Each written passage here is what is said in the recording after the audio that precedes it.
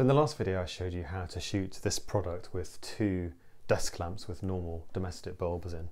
And in this one I just wanted to give you a couple of options that might give you slightly better results. At the moment uh, there's no artificial light in this room at all. The only light source is daylight coming through the window over there and it's kind of an overcast day outside so there's quite a diffuse light coming in. And if you look at the product it's actually quite well lit. I'd say perhaps there's only two problems with this light. Firstly, it's a little bit too dark, especially for shooting with a camera phone like this. You might be alright with an SLR. And secondly, because the light's all coming from one direction, you do still get quite a harsh shadow, even though the, the light source is very diffuse, quite a, a sharp shadow behind the, uh, the product here, which is slightly distracting. Now, even just sticking with our one natural light source, there's a couple of things we could do. Firstly, we could move the set closer to the window so we get more light coming in. Now I can't really feasibly do that here because there's just too much junk in this room. Um, but the second thing we could do is put a reflector here and see if we can get some of the light from the window bouncing back onto the product from the other side. So I'm going to set up the camera using the same manual settings that I had last time.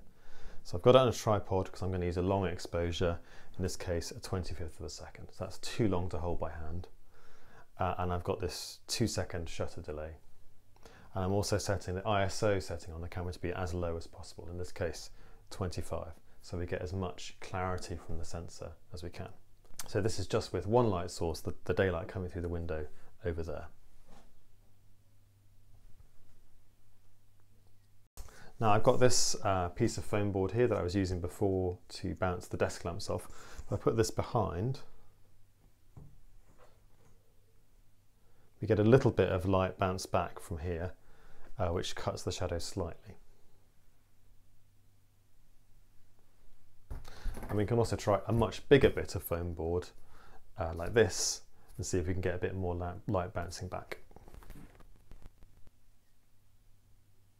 So I think even with these reflectors, there's not enough light. So I want to add some extra light to this scene, and there's a number of ways I could do that.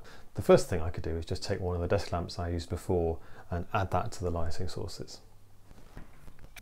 Uh, there are two problems with this approach. Firstly, the light coming from the window is much more powerful than the light coming from this desk lamp.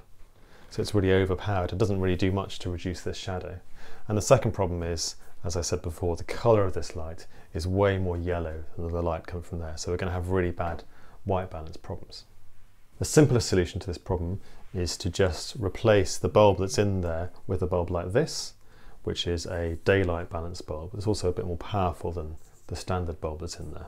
And these bulbs cost about five pounds from a DIY store.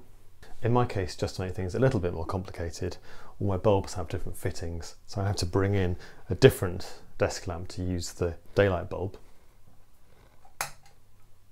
Hopefully you can see that the colour is much better. It's more evenly matched to the light that's coming in through the window.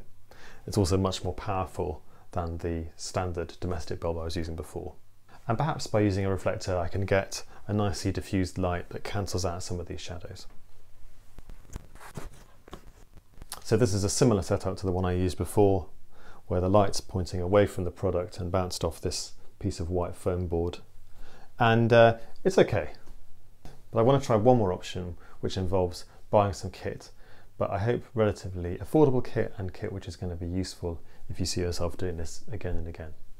There's no way I could fit all this in shot with the setup I had before, but this is what I'm talking about. These are daylight balanced CFL bulbs, they're not actually LED bulbs, so they're quite affordable and they come with this uh, tripod mount here, or light stand mount should I say.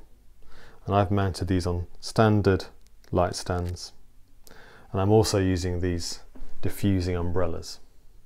Now all three of these things I actually bought uh, at different times, but they all fit together because these are very standard fittings and they're all very cheap on Amazon or eBay. So here we've just got one of those lights pointing through the diffusion umbrella straight onto the product. I'd say that's already quite a big improvement. So here I've added a second light coming from the other side, also pointing through a diffusion umbrella. And again, I think that's a pretty good setup you'll see that once you start adding tripods and umbrellas like this, your working space becomes very cramped and cluttered. I'm going to try one more shot with one of the lights a bit more facing onto the product. You can't, you can't actually even see the product now, but of course the camera that I'm taking these photos with is in front of those lights. So here's the setup showing the camera I'm taking the photos with on the tripod. Now I think it's time to take all this stuff down and have a look at these photos on the computer.